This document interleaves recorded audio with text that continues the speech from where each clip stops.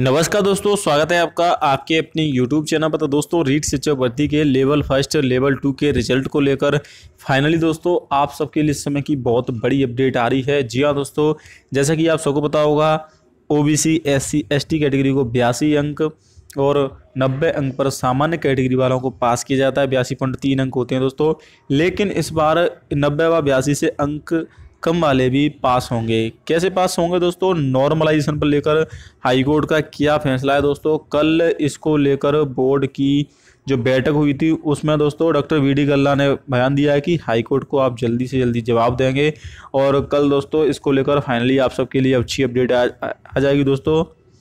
ये दे सकते हैं शाम का सबसे जो पेपर है वो कठिन माना गया था। तेईस तारीख की शाम का आर लेवल के क्वेश्चन आए थे। इसकी दो सुनवाई हो चुकी हैं। बारह सितंबर को भी सुनवाई हुई थी दोस्तों। इसके बाद अट्ठाईस तारीख तक का समय दिया गया था। रीट परीक्षा के पेपर को लेकर बेरोगा ने कई सवाल उठाए थे। कुछ तो आउट ऑफ़ सिलेबस क्वेश्चन आए थे दोस्तों। कुछ आपके क्वेश्चन ऐसे थे दोस्तों, जो आपके ऑब्जेक्शन थे, यानी कि ऑप्शन गलत थे, और आर एस लेवल के भी क्वेश्चन आए थे, इसीलिए नॉर्मलाइजेशन की मांग की थी। और डॉक्टर बी डी गल्ला जो शिक्षा मंत्री, उन्होंने कहा है कि रिज़ल्ट कल आपका जारी कर कर दिया जाएगा, इसी सप्ताह कहा गया। दोस्तों तो कल 26 सितंबर को रिज़ल्ट बोर्ड जारी कर देगा। 26 सितंबर शाम चार बजे तक आपका बोर्ड रिज़ल्ट जारी कर देगा। अगर लेवल टू में कोई दिक्कत आती दोस्तों तो लेवल फ़र्स्ट का रिज़ल्ट बोर्ड सबसे पहले जारी करेगा। लेवल टू का बाद में भी रिज़ल्ट जारी कर सकता है, क्योंकि अट्ठाईस तारीख तक नॉर्मलाइजेशन को लेकर हाई कोर्ट ने समय दिया है यहाँ पर बोर्ड को।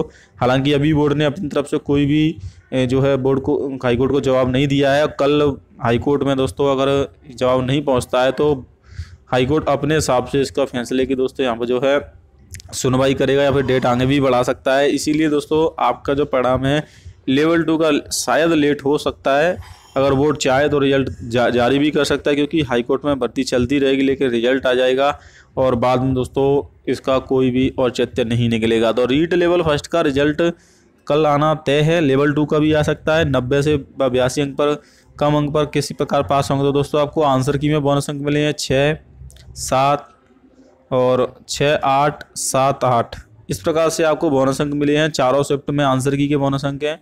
जो आपत्तियाँ लगाई गई थी, उसके बोनस अंक दोस्तों, और फाइनली आपका रिज़ल्ट जल्दी जारी हो जाएगा। बोर्ड रिज़ल्ट तैयार कर लिया है दोस्तों 25 सितंबर की अपडेट थी, और फिर बाद में कहा गया कि इसी महीने के अंत तक आपका रिज़ल्ट आ जाएगा। पंद्रह लाख विद्यार्थियों को रिज़ल्ट घोषित होना है।